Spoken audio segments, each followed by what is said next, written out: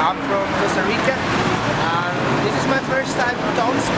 Uh, I'm going to give my first class for the Winter Sunshine Project. I'm very excited. Um, I'm not used to see just like night at this time because it's almost it's like eight and a half a.m.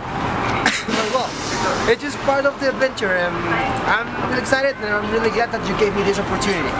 And if you just are thinking of coming to Tomsk, don't hesitate, just come. Hi, my name is Tu. I'm coming from Vietnam, but you can call me Chibi.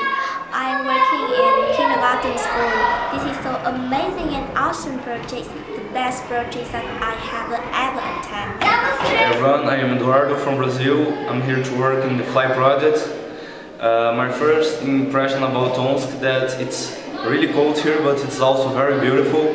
It's really good to see snow because we don't have snow in Brazil, and it's a good experience.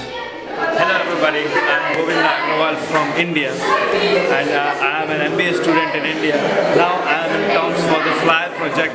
It's a very cool city uh, and this is, this is winter time in Tomsk in Russia. I am here for the Fly project which is financial industry for youth and uh, about Tomsk with, I want to say that because of the winter it is very cold here I think around minus 20 today. Okay, so I'm enjoying the city, I'm enjoying Russia, and uh, enjoying the Fly project here. I have to give the presentations and all. It's all fun stuff here with the students and all. I like I like Tomsk. Okay, my name is Susana Naranjo. I'm from Colombia. I came here on 27th of November and today is my last day. I'm so happy to, to this experience. It was amazing. Tomsk is a great city. All the people here is amazing. They are so friendly and really come here. It's a great experience and I love Tomsk. I hope to be here again and I will miss you.